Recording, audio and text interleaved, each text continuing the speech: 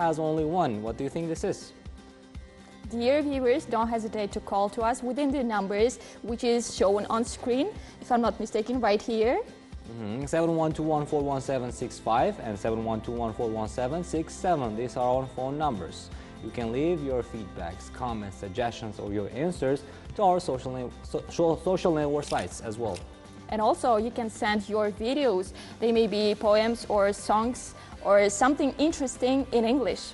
So that we can also share with the rest of the viewers. Right? Yeah, you can demonstrate yourself, your talent. Mm -hmm. So right now, we have talented and eager students to our studio, studio which Salat now will introduce. Yeah, so we invite them to the studio. Please, Parviz Matlabov, Asadbek Oltinov. Welcome to our studio. We are really glad to see you here. Take your seats, please.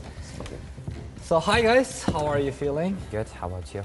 Great. Nice, thanks. So we are happy to see you in our studio. How's life and everything? Perfect. So, so would you like to introduce yourselves yeah. first? We just introduce okay. you by your names. Okay. I'm Asadbek Oltinov and I'm 14 years old and I was able to achieve the score of Band 7 from British Council and many more certificates from Cambridge exams, including Linguaskill and CEFR. Also, I was able to get the first place from debate championship in Samarkand, and personally, I got the certificate from the governor of Samarkand, Erkinjon Turdimov, which was really motivation for me to study further. Also, with my friend Parviz John, we were able to organize the exclusive club, which is called Future Leaders at Innovative Centers, and it's dedicated to help and um, help and shape the young generation. Motivate. Yeah, mm. motivate them to study English in yeah. Samarkand, you mean? Yeah. Mm. yeah what about you? Mm -hmm. Well, uh, first of all, good morning to everyone. Good morning. And my name is Parviz Matlabov, and I'm 16 years old now. So a year ago, I got 7.5 in IELTS and also C1 level from Cambridge exam, which is international, you know. And also, we both are Future Leaders Club. Uh, so we are co-organizers. So we help young generation to develop and boost their speaking skills, writing skills and others. And it is the official student club of Innovative Center, which we help for the students through online maybe. And also in the Samarkand, uh, we organize many debate clubs and also polyglot championships which we got a place and get rewarded from the governor of Samarkand. Mm -hmm. Interesting. Uh, so let me ask something. What was uh, what was your um, main motivation to learn languages like English? Okay, for the first, the reason why I learned English just mm -hmm. because for the first, it's opening many more opportunities right now, so you can build up a good career. And the second, I just want to know my level since when I was 10 or 12, I was learning English, and that's why. By yourself? Yeah. Mm. And when I turned to 13, I went for innovative and with the help of my instructors, Muhammad Khansorif, I was able to achieve this score. Mm, what was the challenging part throughout the whole Obstacles. process process of learning language, not the like preparation for the IELTS, but the process of all, overall English? Okay, the process was difficult because whenever to whenever you want to achieve something, it's going to be challenging. So mm -hmm. I was successfully able to overcome this especially with dealing with writing and reading question IELTS in IELTS uh, exam. But how about English overall, not the IELTS part? Okay, um, it was enjoyable, I think, because I'm also motivated to learn English, so uh, I don't really think so. It was really hard for me to cry or just mm -hmm. um, push myself. Before IELTS preparation, how long have you studied English? Okay, as I said, I started when I was 12 and uh, now I'm 14 and I was in two years, in a matter of two years, I was able to get seven at Innovative Center. Within two years? Yeah. Mm. Two years, all right. How about you? Um, when did you start learning yeah. English? Yeah. And did you have difficulties? uh, I've been learning the type of English and also starting to learn about the IELTS since my childhood. Hmm. Uh, I think it was about four years now uh, all of the stuff like uh, I started from A1 to the IELTS and also to C1 and C2 levels. So at that time, I think one of the most challenging part was memorizing new words, vocabularies, and most of the students are facing this problem nowadays, you know. And they say how we can memorize a word effectively and others. So maybe at the end, we will show how to. Mm, yeah, we suppose you brought some information and tech text, right? Yeah. Yeah, Tips yeah. and tricks. Yeah, Hopefully, waiting for that. Yeah, by the end of our conversation, hopefully you'll Yeah. share with the rest of the viewers as well. All right, as you were saying, you had difficulty, challenges, right? Yeah. Did you ever feel like you want to stop, give Yeah. up? Uh, yeah, I had the main same feeling because for the first, I didn't really feel the progress. I was doing lots of homework and I was putting lots of effort to English learning. But in the end, I saw my teachers and I saw many students who are getting good results by putting hard work. So I believed myself and I thought that I can make it and I made it as you can see right now. Mhm. What is your future plans which is related to the language? Okay, talking about my future plans, I want to travel different countries just to observe how other cultures look like. At the same time, to broaden my horizon. At the same time, to uh, to make my network a bit of strong. And this is my plans for right now. Hmm, What about you? So in the future, I would like to study in the prestigious universities, like you know Your Ivy bachelor degree? Yeah, in a bachelor degree and also in master's degree because you know I would like to uh, broaden my horizon, get more knowledge as I can as possible. So and also traveling worldwide, uh, learning about the cultures, and also I would like to learn another language, maybe Chinese or Korean. So back to the process of learning English. Did you by yourself start learning a language or did somebody encourage you to start? Or start? pushed you? Yeah, pushed or forced you. Yeah. You go and study English. okay, telling the truth, when I was a kid, I was a bit of lazy and I had no interest either learning math or English. But my thanks to my mom, she's the one who actually supported me, Yeah. and she actually said that if you learn English, there are more opportunities which are provided. So I just want to give a try, and now I'm seeing the results and process thanks to my mom. Yeah, that's the you know most of the like um, successful people's reason. right? Oh, we have phone call right now. Finally, Yeah. finally, after one hour and thirty minutes. Hello. Hi. Hello. Hello, good morning. Good morning. How are you doing? Very good, and you? Where are you calling from? I'm from Andijan. and What's your Boston. name? My name is Azbek. I'm Azbek Nabif. Great, great. And your answer? And my answer is Q. Q. Yeah. Would you like to spell that word for us? Yes, Q U E U E. And absolutely, I can't say it right, but at the end of it, we'll tell you the right answer. But do you have any other options? Or Uh, greetings no, for I your want friends or family members? All right, so that's your answer. And what would you like to say to our youngsters here who are sitting next to us? Mm, Maybe some wishes. Good luck. Nothing. I want only to say the answer of the riddle.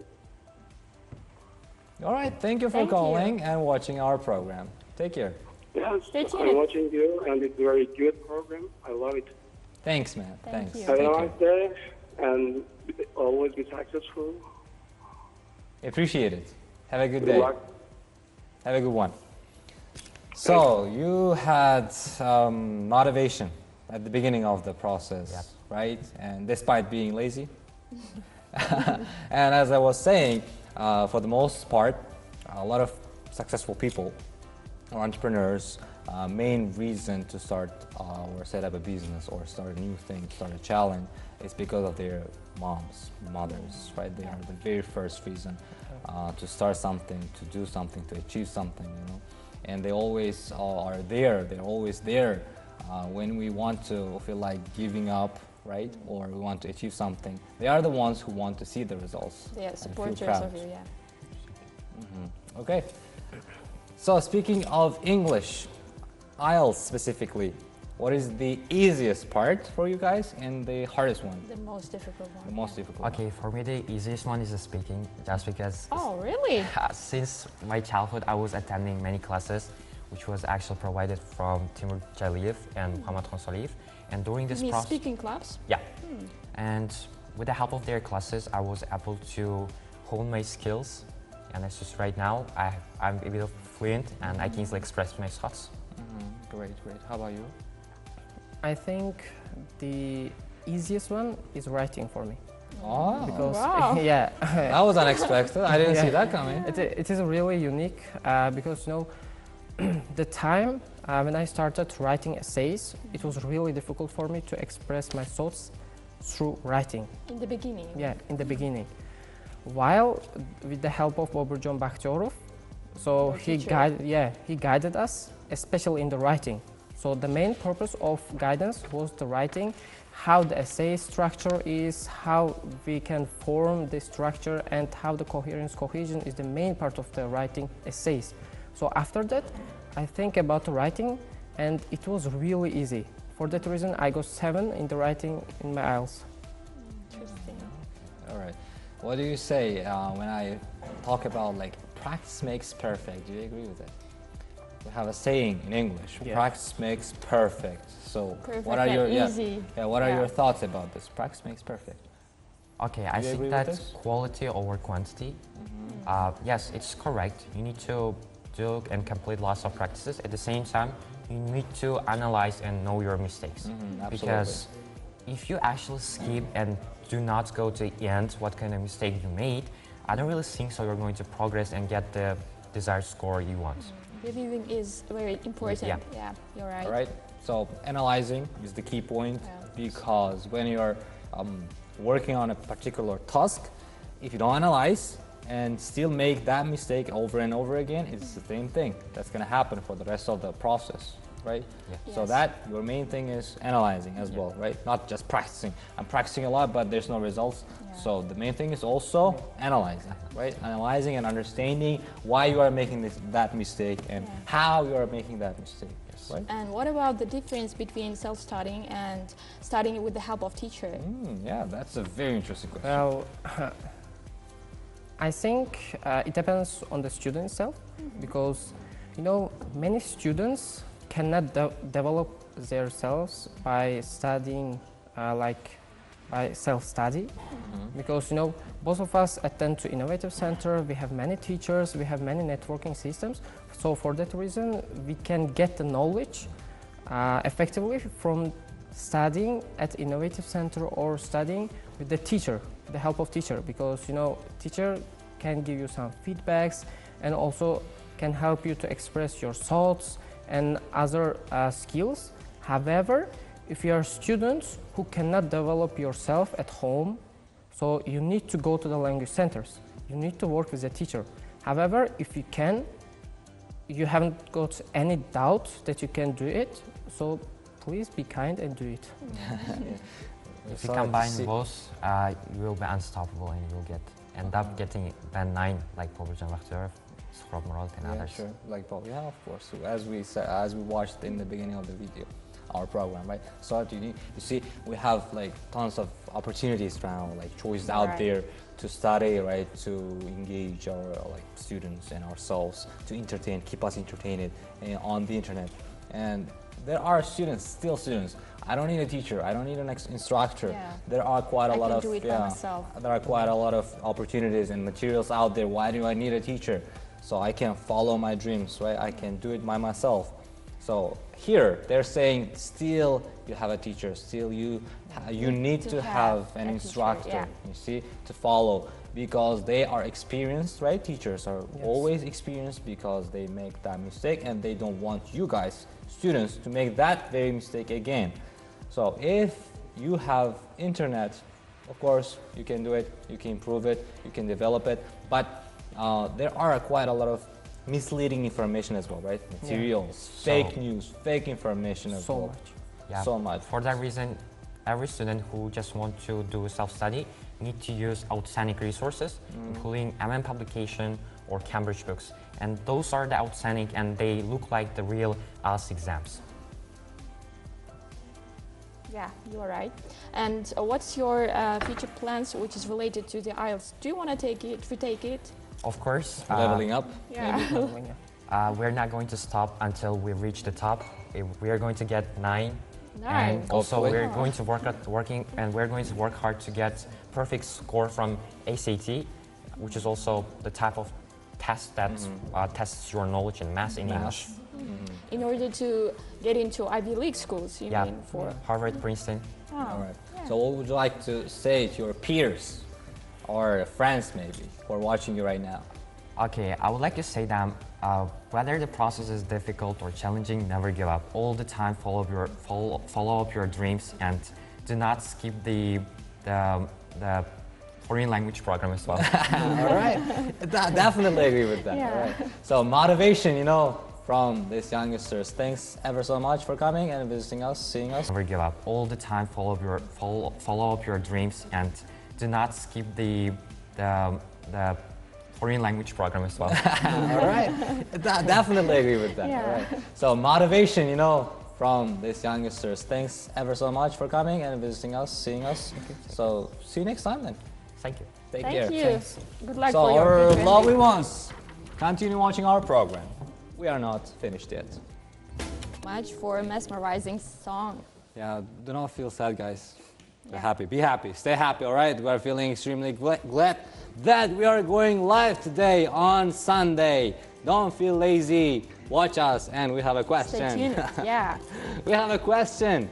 What word has five letters but sounds like it has only one? Come on, guys. Come on. We are Call waiting for us. your answers. Don't hesitate to share with your answers, options, or you can also send your greetings to your beloved ones. Yeah. Yeah, absolutely. She doesn't know actually the answer. We'll test at the end. She she'll He we'll also. ask. He Yeah. also. I made up the question. How can I not know? He's lying. All right. So welcome our next guest. Our next guest is our Uh, so I'm gonna invite our next guests, Zafar Nurmamadov and Mahmoud Khamraev. Please Welcome. Welcome to the studio. Take Hello. your seats, please. Take your seat. Hi, guys. How are you doing? Nice. Yes. Are you not feeling nervous? No, Everything's okay, right? Have you ever been in live TV show before? No, it's no, the first the first time. This is the is first time. and not gonna be the last one as well. Yeah. it's the first one. Started.